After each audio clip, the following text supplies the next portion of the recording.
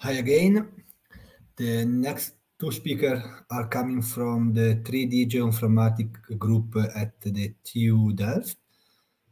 And they are Balazs Dukai and uh, Ravi Peters. And they will uh, speak about uh, building 3D uh, models for, uh, for the cities and for the building. So, hi both of you. And Hello. Uh, I leave the stage at you and good presentation.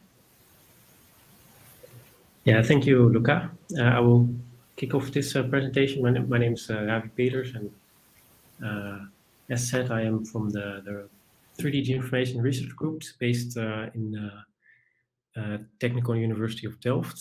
and both me and Balazs are working in this research group. And since sometime shortly, we also uh, work in a commercial spin-off uh, of that research group called 3DGI, and here we take more like practical assignments that do not fit so well in a in a research group setting.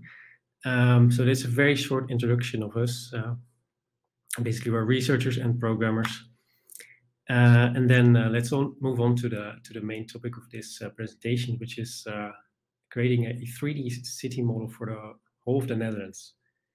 Uh, and before we, we dive into the technicalities, we uh, maybe it's good to uh, to see why uh, you would want this uh, kind of 3D models in the first place.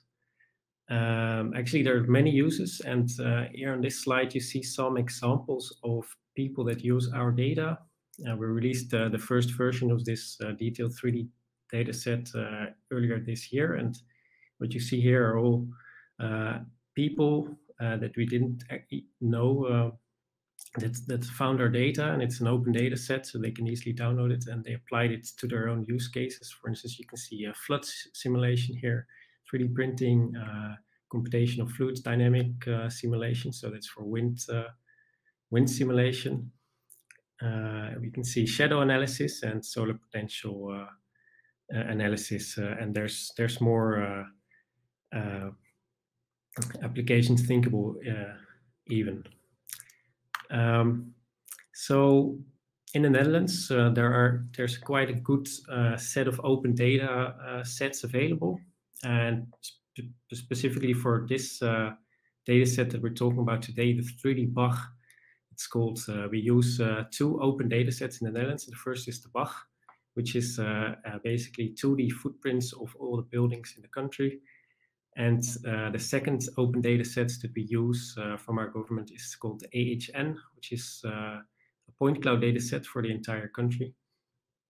And basically, we combine these two data sets to generate automatically our 3D uh, buildings. Uh, then uh, this is the website of the 3D BAG data set. so you can actually visit it yourself if you want to. It's, it's on 3dbag.nl. Uh, if you go to the website, you'll see uh, something like this. So you'll see our, our 3D buildings uh, uh, in a kind of a nice viewer uh, where you can explore the data. And then there's also a download page where you can download the data in tiles in different formats like OBJ, GeoPackage, CityJSON. There's also some web services like WFS. And you can also get the raw Postgres data dump. Um, so uh, we distribute the data then actually in, in various ways. So there's of course the, the fully 3D models, but we also have a 2D layer, which is actually illustrated here. So this is like a projection of the, the height information to a 2D data set because we found that many users actually still, uh, uh, depending on software that does not really, uh, uh, they cannot really use fully 3D data, but they can use, let's say, the 2D data plus height uh, for a polygon. So that's why we offered actually into, into uh, sets there as well. Um, and then, of course, at the core of this uh, generating this data set, there's kind of an automated algorithm. And what this algorithm does is it takes uh, for a given building, uh, we take this 2D uh, footprint from the BAG data set, uh, and we combine that with the HN point cloud, which you can see here on the, on the left, and basically from those two inputs, we fully automatically generate a 3D uh, building mesh, which you can see here. And of course, uh, we do this many times because there's 10 million buildings in the country and it is fully automatic. So uh, just with the press of a button, basically we start this process and it takes uh, uh, like about two days and then we have 3D models for the whole country. So very briefly, the reconstruction method. How does that work? Um, well, like I said, the two sets of input are the 2D footprint, which you can see here in, in the gray line, uh, the gray uh, rectangle here. And then we have the point cloud. And the point cloud is classified, so uh, there's labels on the points which tell us if, if a point belongs to a building or to, uh, for instance, the ground. So this is actually the two classes in the point cloud that we use.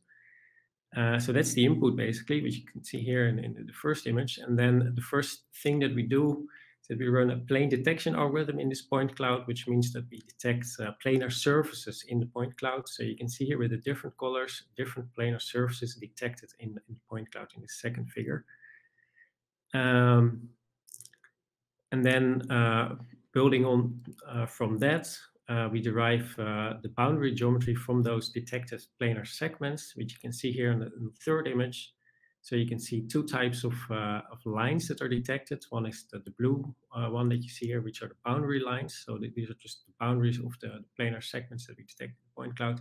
And we also detect the intersections between adjacent planes. So for instance, on the gable roof of this building, uh, there's uh, two planes intersecting at the, the top and this, uh, you can see this is a red line there.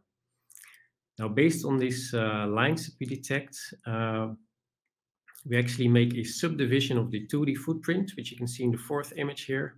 So we project all these lines that we detect in, uh, in 3D, we project them down to, uh, uh, to the 2D footprint, and we subdivide this footprint, let's say, in the in, in, in 2D, basically. So here actually it becomes kind of a 2D uh, method. Um, and then uh, the next step then is to uh, to assign to all the, the cells that are formed in this 2D uh, subdivision of the footprint, to assign to each cell the appropriate roof plane that we detected earlier in, in step two. So you can see here, for instance, for the, the top cell, which is orange, you can see it corresponds to the, the orange plane in step two, uh, which is on the other side of the building. And the purple plane you can see as well.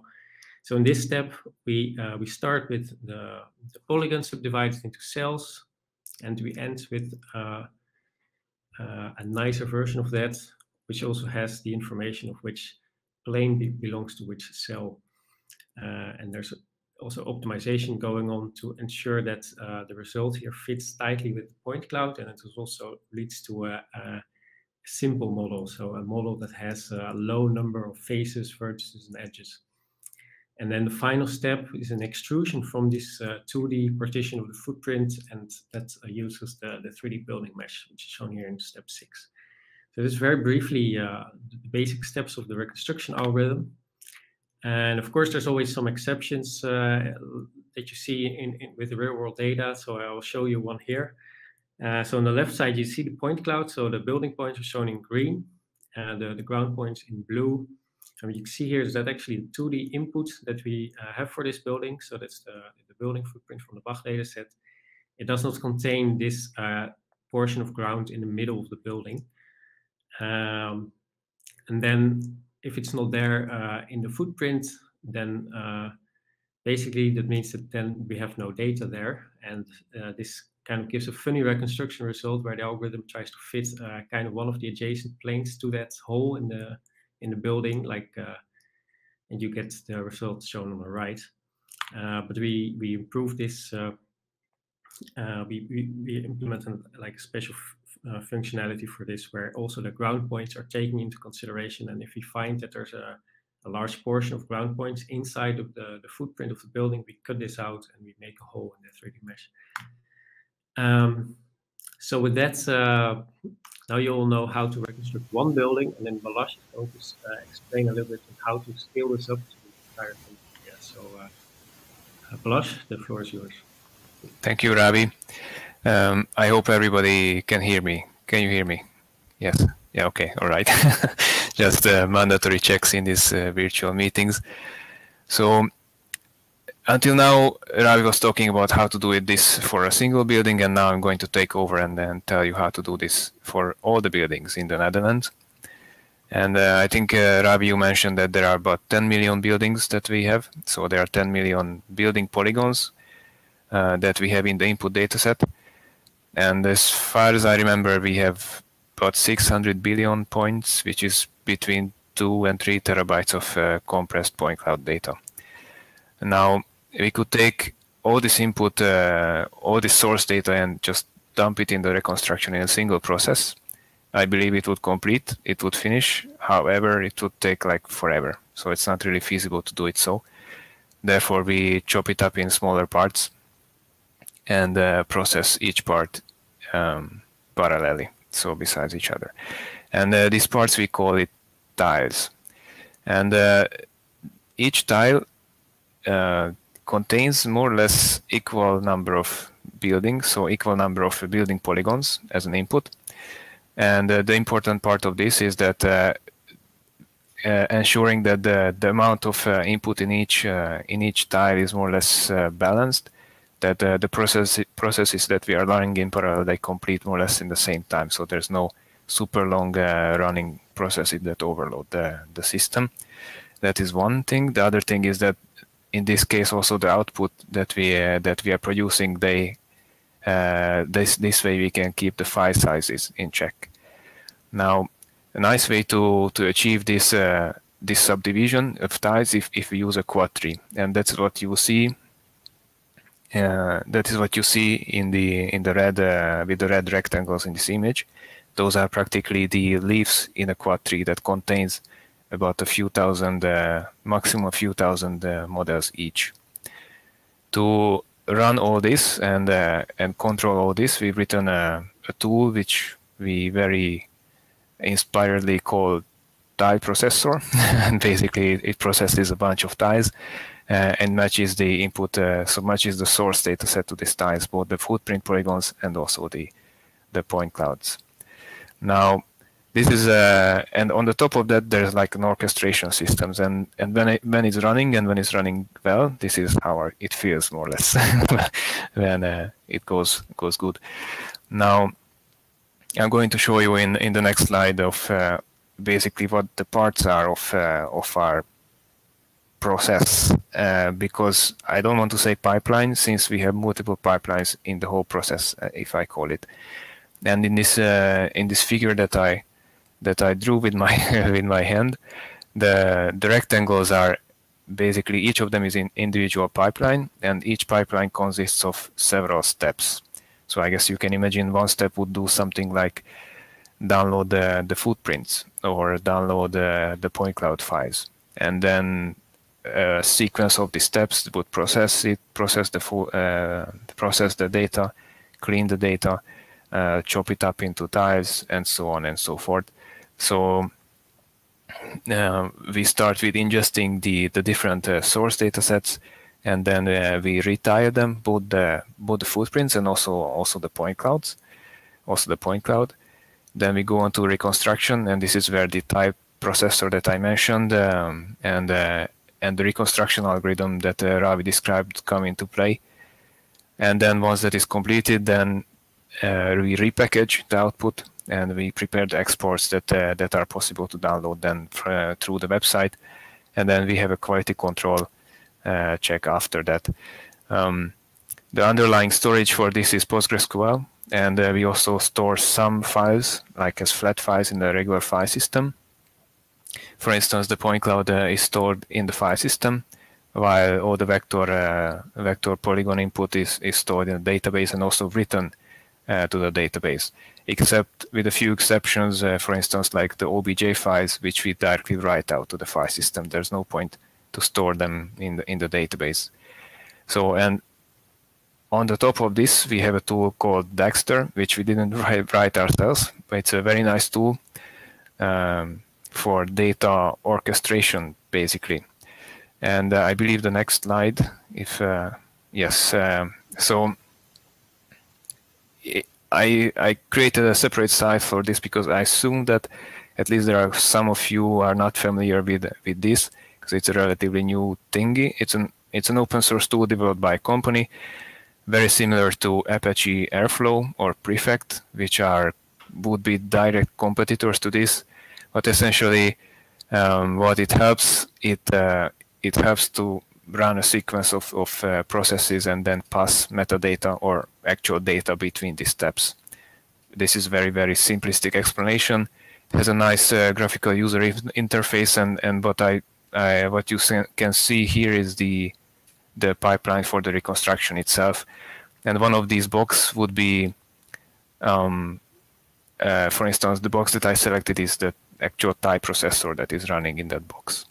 So, however, although it's a graphical user interface, it's not like a drag and drop tool.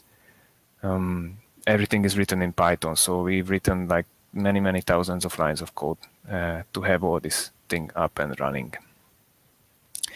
Now, uh, on um, working on these uh, data processing tasks and developing uh, researching data processing tasks is a little bit uh, tedious at some times because by its nature, the easiest way to verify if something is correct uh, is to look at the data. So look at the output. We have many of many many unit tests, or but they are not sufficient in itself. And the best way when uh, when the model is generated to check if it's good is just open the model and see if it's good as as we expect. So now in our uh, daily situation, it works like, for instance, uh, Ravi or me, uh, we we do some changes in the code, and we are happy with the with the changes. Then we send a commit to we commit it to GitHub, and uh, we put in the commit message we tag the number of the tile, so the tile number that we would like to execute, for instance, one, two, three, four. Then in return, GitHub sends out a webhook and uh, we wrote a small basically web app then that listens to these webhooks and uh, starts a process to build so pull the code from github build the code and then install the code. And this is done with ansible. And one, once the, then this is done it, we receive an email from ansible that okay everything is correct or if something has failed. And if some everything is correct then Dagster takes over pretty much the pipeline that you've seen in the previous slide uh, to reconstruct this uh, this single tile uh, one, two, three, four. And once that is done, we also receive an email, and we can check the results in QGIS uh, by directly connecting to the remote database on our server and uh, and checking the 3D models that were stored there. Now this is very very handy because normally on our laptop we store just a small amount of data, like for a neighborhood or a couple of buildings, which are good for running uh, tests in a few seconds.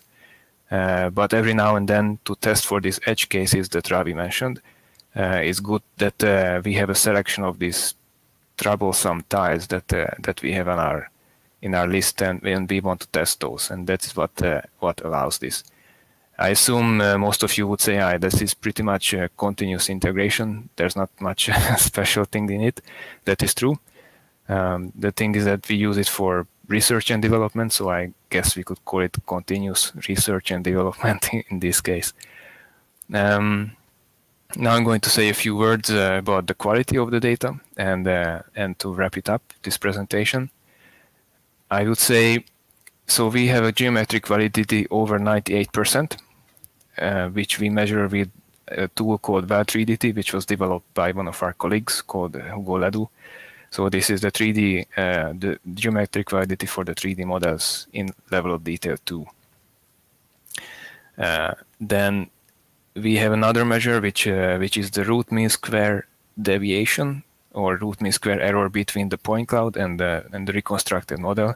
So basically, we we measure how close is the model is to the point cloud, and our reference is the point cloud. Yes, uh, that's a that could be a shortcoming, but the truth is we don't have any other ground truth or, or reference to compare it to.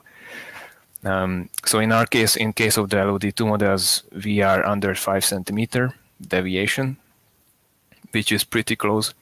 But if we check, for instance, the, the mean uh, and the standard deviation, then we see that, okay, I believe uh, uh, there are some outliers because our standard deviation is, I think, like 25 centimeters but the average uh, root mean square error is still under 10 centimeters. Um, and uh, the outliers show that so generally the, this graph shows that actually things go pretty well except when they don't. And when they don't go well they uh, there are these situations when for instance there is no occlusion in the point cloud. Uh, since uh, our reconstruction method uh, heavily relies on the quality of the point cloud itself so the input data quality. And uh, because uh, the point cloud that we use is collected through area aerial laser scanning uh, we have these church towers that often cast a shadow on the church uh, roof itself, creating this gap of uh, uh, gap of points. And in that case, we have a reconstructions error, for instance, that that you see on the left-hand side. Now, to wrap it up, the way we distribute this data is uh, either via 2D layers, uh, because we've seen that uh, the people like 2D still very much, and they are served with uh, regular WFS, WMS with GeoServer, or uh, flat files that I simply served with Nginx. And um, the feedback so far has been quite positive. I would say overwhelmingly positive. Um, if Ravi, could you go to the to the next slide? Yes, yes. Uh, uh, because uh, the way we know is that uh, we follow either we follow the forums where people talk about the data set, and we also have direct feedback forms, which are simple Google forms. We have two of them. One is a more detailed feedback form, and one is to report errors with particular buildings, where a user can click on a building and report that okay, this building has such and such uh, such errors.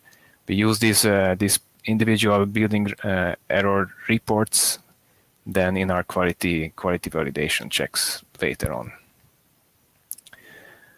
Um, I believe that was more or less the, the content of our presentation. For the very very end, I wanted to tell you a few things what what we have uh, in our mind for the future. Well, in the in the upcoming few months, we are going to work on. We are already working on integrating newer point cloud, higher quality point cloud, possibly, or different uh, point cloud sources in our in our process. Uh, we are streamlining our infrastructure to make it even more efficient, if possible. Um, we are considering that maybe we could expand to other countries, but of course we are depending on very much what the available data sets are, and we want to have a stable release in 2022. A big question and a hard question for us for the coming months is how could we make this uh, sustainable on the long term so that we can uh, sustainably serve the, uh, the data as open data and keep it so. So with this, I would like to thank you for the attention. And uh, I believe I need to mention at this point that uh, we received funding from the European Research Council and many other uh, organizations from the Netherlands and uh, without that help, uh, it wouldn't have been possible to get the project to this level and to continue. Thank you. So thanks a lot. It was really impressive that the work that you did. So there are some questions, but uh, some of them you already answered on during the presentation, but uh, I will uh, ask you again because uh, maybe you can give some more information about that. And uh, the first one is, do you know if this approach is feasible for other countries? So because mm, at least for Italy doesn't exist a, a data set or the two data set, the input data set that, that you are using and probably also other countries are in the same situation. So uh, yes, uh, I can I can take that one. Uh, so basically, yes, the, the answer is yes, uh, as long as you have, uh, let's say, input data that's comparable that, to the ones that we use. So that's, let's say, a point cloud with a density of around 10 points per square meter. And also kind of important uh, right now is that you have the different uh, point cloud classes for ground and building at least, so that you do not have uh, vegetation points that are uh, inside the buildings because that can cause issues. So a classified point cloud with sufficient density and of course uh, building footprints that are well aligned with the point cloud if you have that uh, then yeah, yes, you you could uh, you could do that. Okay, thanks. So this is the most uh, voted one. Is what is the most computational expensive step in the process? Um, maybe I can answer this one. Actually, funny thing is writing the geopackage files. yeah. but at least that is the one that takes the longest. Uh, for us, it takes about five days to write all the geopackage files, and I'm pretty sure we could optimize uh, some things in there. So we, we write from Postgres, uh, and in the geopackage we have, I think, believe six layers, 2D and 3D included. Um, but besides that, uh, is the reconstruction itself, which takes us for about four days uh, in itself. For the whole country. For the whole country, yes, yes. Yeah, I would say two two to four days. Uh, depends a bit on like it changes a bit with every new release. Uh, yeah. You know. yeah. Okay. I imagine that can also be uh, actually optimized a lot further. So other question is, uh, how do you reconstruct building under the trees or where the point cloud may be noisy or sparse? You already showed something during the presentation, but uh, yes. Um, yeah, so first of all, like I said, we depend on the classification in the point cloud. So if there are uh, trees that are, let's say, overhanging a building, then those points are filtered out because they have a different class than the building points. Uh, but then, of course, uh, as rightly pointed out here, but by this uh, question, then there's still uh, less uh, points below there on the building, and yeah, so the algorithm basically tries to fit one of the detected planes uh, in that part where there's no data. Um, and um, yeah, usually that works out well. Uh, but uh, in cases uh, where you see uh, problems in the point cloud, and this is also like some, some really difficult situations are where there's glass roofs on buildings, because this is hard to measure with LiDAR. Uh, and then you see sometimes that the reconstruction result is a bit distorted and it's also a bit similar to what uh, Bala showed uh, with the church tower, where there's yeah. there's a problem of no data, and the algorithm does uh, best what it can do based on on the data that's there. But uh, of course, if the data has, has limitations, then that shows in the in the output as well. Yeah, yeah. Um, about this, there was a another question: Is the point cloud classified classified beforehand and if so, how and uh, into yes. what groups?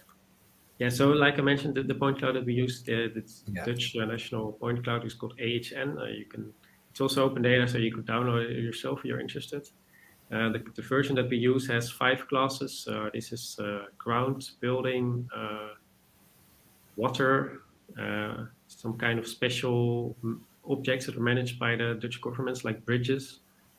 Okay. Uh, and then the last one is the the other points. Uh, yeah. Okay. And this is done. How how it's done? It's I think it's semi-automatic, semi-manual. Uh, yeah, this is not something that we do. We just use uh, what, what the government uh, provide uses. Yeah. Yeah. And uh, on the ground part removing, how does it work in a sloped environment?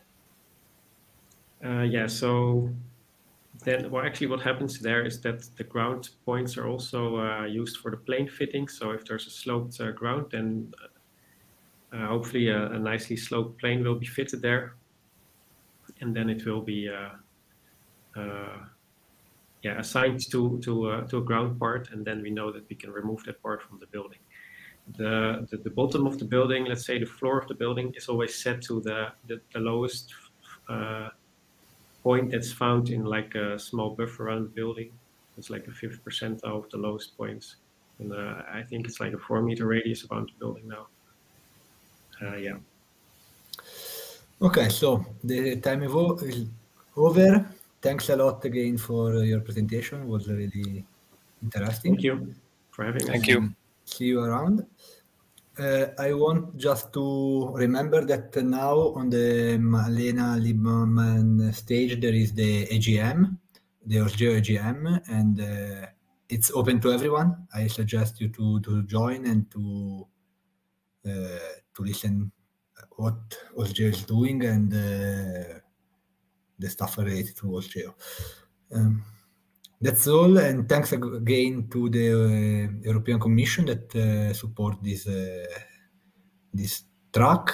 And see you in the around and in the next time.